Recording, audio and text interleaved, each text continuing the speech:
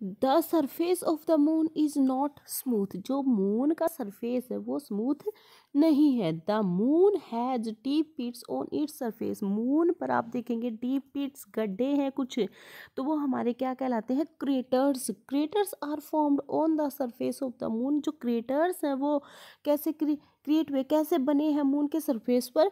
When it is hit by meteors meteors होते हैं जो स्पेस से, आंतरिक से जो रॉक्स गिरती हैं, वो कहाँ पर जाकर गिरी?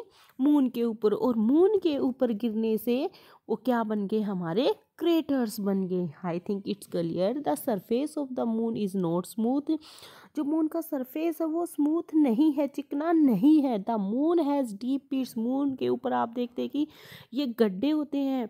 ये गड्ढे क्या कहलाते हैं? क्रेटर्स और क्रेटर्स आर फॉर्म्ड ये क्रेटर्स कैसे बने? क्यों बने? जो क्रेटर्स हैं, जो मैटर्स होते हैं मैटर्स होते हैं हमारे हिच रॉक्स के टुकड़े पीसीज जो आंतरिक से गिरते हैं।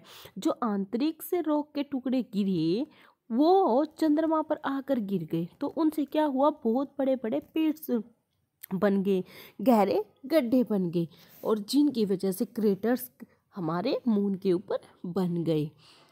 The moon's surface appear to be made of bright areas and dark areas. जो मून का सरफेस है, हम देखते हैं कहीं पे ब्राइट एरिया नज़र आता है और कहीं पे डार्क एरिया नज़र आता है। The bright area of the surface of the moon are called highlands और माउंटेन्स। जो ब्राइट एरिया हमें चमकीला पार्ट नज़र आता है मून के ऊपर, उसको हम क्या बोलते हैं? हाईलैंड्स या फिर माउंटेन वाला area. The moon has some mountains peak that are more than six thousand metre high. और मून के ऊपर जो माउंटेन्स हैं, पर्वत हैं, पीक चोटियाँ हैं, that are more than six thousand metre high. वो सिक्स थाउज़ेंड मीटर से भी ऊँची हैं।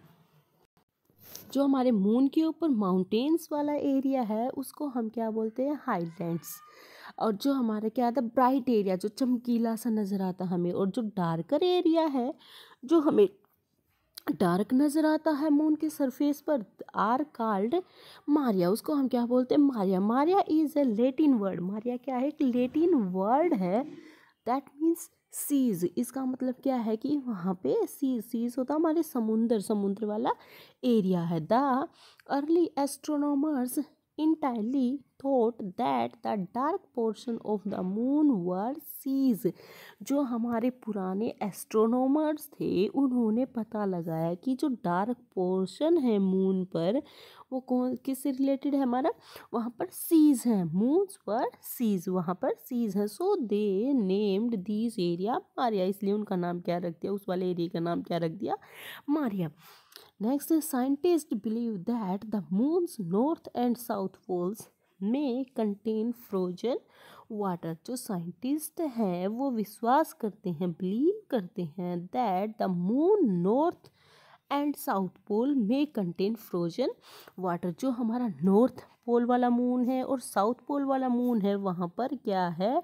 फ्रोजन वाटर जमा हुआ पानी है।